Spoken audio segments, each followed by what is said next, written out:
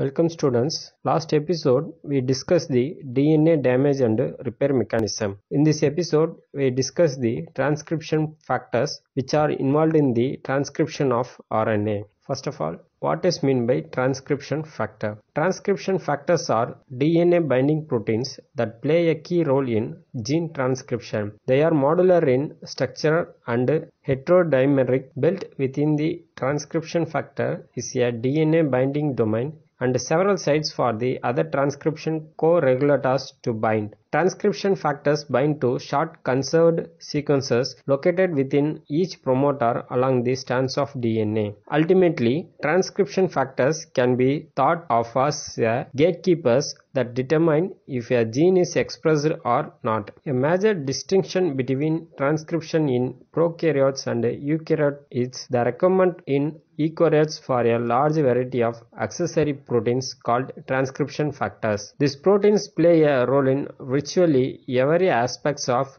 the transcription process from the binding of the polymerase to the DNA template to the initiation of transcription to its elongation and termination. General transcription factors. All eukaryotic mRNA precursors are synthesized by RNA polymerase II an enzyme composed of a dozen different subunits that is remarkably conserved from yeast to mammals. RNA polymerase II binds the promoter with the cooperation of the number of general transcription factors that is GTFS to form a pre-initiation complex that is PIC. The first step is assembly of the pre-initiation complex is binding of a protein called Tata binding protein TBP that recognize the Tata box of those promoters. Tata binding protein is present as a subunit of much larger protein complex called TF2D transcriptional factor for polymerase II fraction D function of transcription factors. The principal role transcription factors play is in allowing cells to differentiate through their ability to initiate or repress site specific transcription. Each cell in our bodies can differentiate into different cell types despite containing the same exact genetic code. Turning genes or allows cells to potentiate into the different tissues and organs that make up our bodies. Transcription factors also make genetic fine tuning possible. Modulating the activity and the amount of transcription factor can up regulate that is increase or down regulate that is decrease the rate of the chosen gene transcription. Therefore, this alteration not only allow a gene to be expressed but they determine at which level each gene is expressed. For example, when the insulin levels in our blood are elevated, our cells trigger a down regulation in the expression of insulin receptor. So, although insulin receptor continued to be made for life sustaining purpose, the level of expression subside to accommodate our body's new internal conditions. The pre-initiation complex contains polymerase II, six general transcription factors that is transcription factor polymerase IIA, transcription factors polymerase IIB, 2D, 2E, 2F and 2H. Transcription factors and polymerase bind the pre-initiation complex in a specific order. The structure and function of transcription factor polymerase IID. The transcription factor polymerase IID contains several subunits Tata box binding protein TBP. This binds to the magic groove of a Tata box that a saddle shaped Tata box binding protein lines up with DNA. Underside of the saddle forces open the minor groove. The Tata box is bent into 80 degree curve to 8 to 10 copies of Tata box binding protein associated factors specific for class 2. The function of transcription factor polymerase 2b has been cloned and expressed by Reinberg et al. The transcription factor 2B binds to Tata box binding protein at the Tata box via its C-terminal domain. It also binds to polymerase 2 via its N-terminal domain. The function of transcription factor 2F is record of polymerase II to the existing DNA transcription factor 2D to B complex. Position of polymerase II over the start side which binds to the non-template DNA strand. Transcription factor polymerase 2F also reduce non-specific binding of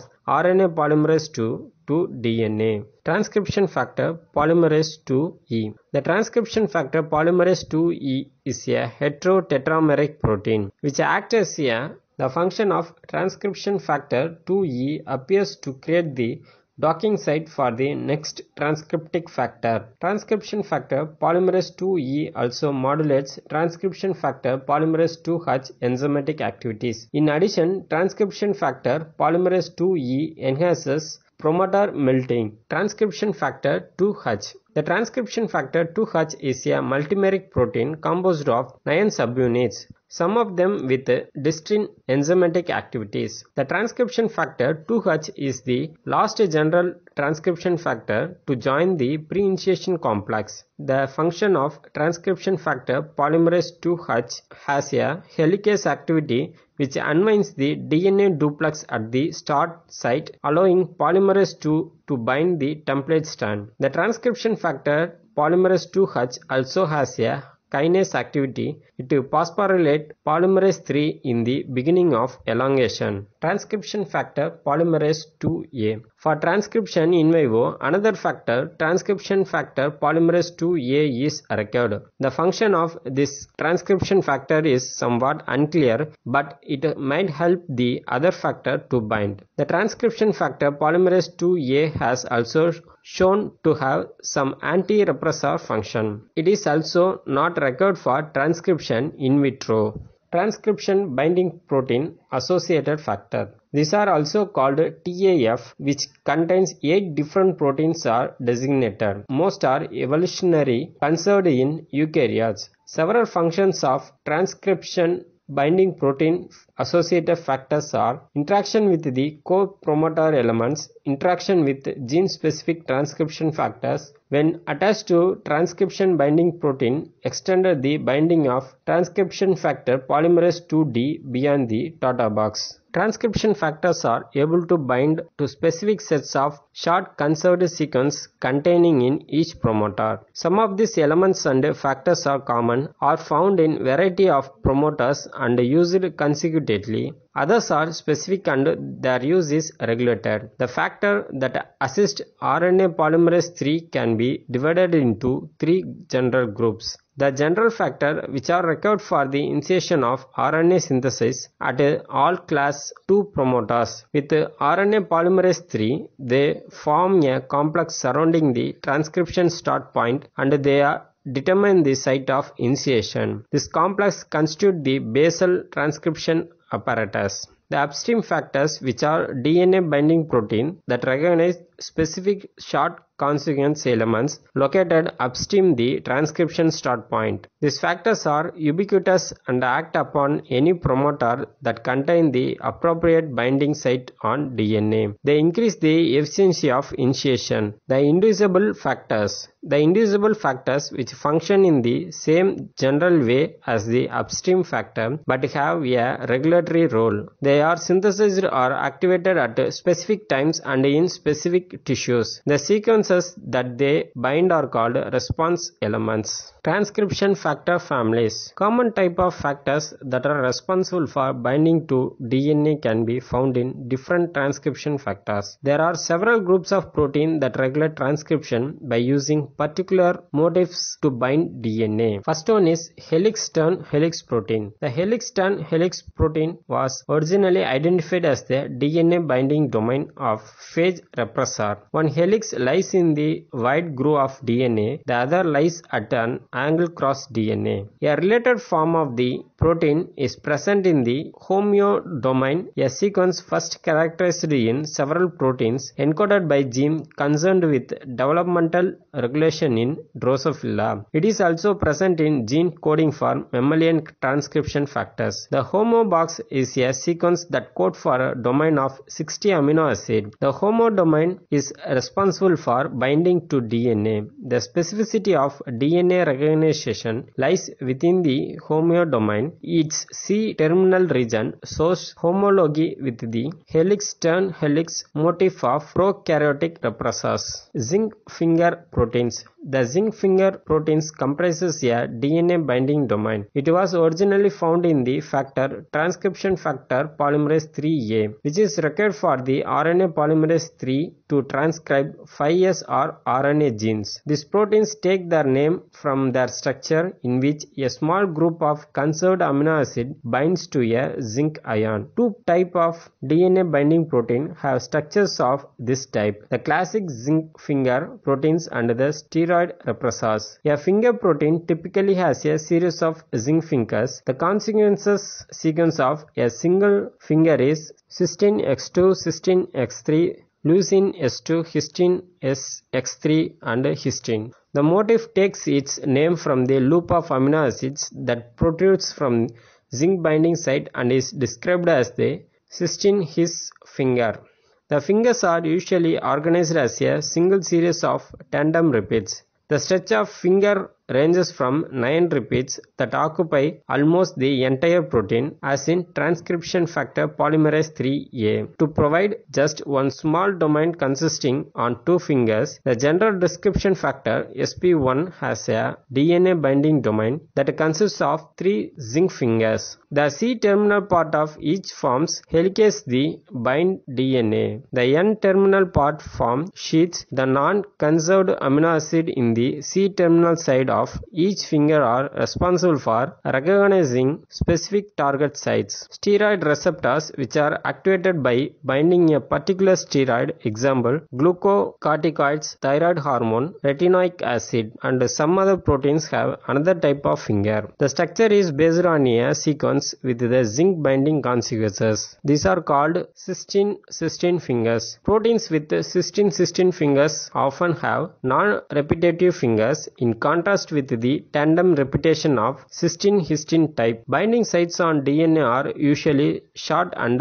palindromic. The glucocorticoid and estrogen receptors each have two fingers that form helicases that fold together to form a large globular domain. Third one is leucine zipper proteins. Leucine zipper is a stretch of amino acid rich in leucine residues that provides a dimerization motif. Dimerization allows the juxtaposition of the DNA binding regions of each subunits. A leucine zipper forms an amphipathic helix in which the leucines of the zipper on one protein could protrude the helix and interdigitate with the leucines of zipper of another protein in parallel to form a coiled coil domain. The region adjacent to the leucine repeats is highly basic in each of the zipper proteins and could comprise a DNA binding site. The two leucine zippers in effective form a Y-shaped structure in which the zipper comprises the stem, two basic regions to form the arms that bind to DNA. This is known as the bZIP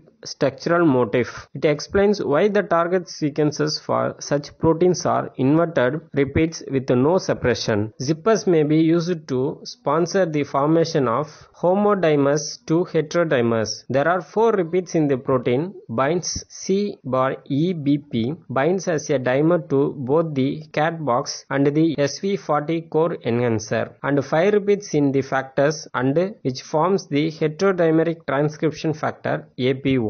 The fourth one is helix loop helix protein. The amphipathic helix loop helix motif has been identified in some developmental regulators and in genes coding for eukaryotic DNA binding proteins. The protein that have his motif have both the ability to bind DNA and to dimerize. They share a common type of sequence motif. A stretch of 40 to 50 amino acids contains two amphipathic helix separated by a linker region of varying length. The protein in this group form both homodimers and heterodimers by means of interaction between the hydrophobic residue on the corresponding faces of the two helix. The ability to form dimers resides with this amphipathic helix and is common to all HLH proteins. Most helix loop helix proteins contains a region adjacent to the helix loop helix motif itself that is highly basic and which is needed for binding to DNA. Members of the group with such a region are called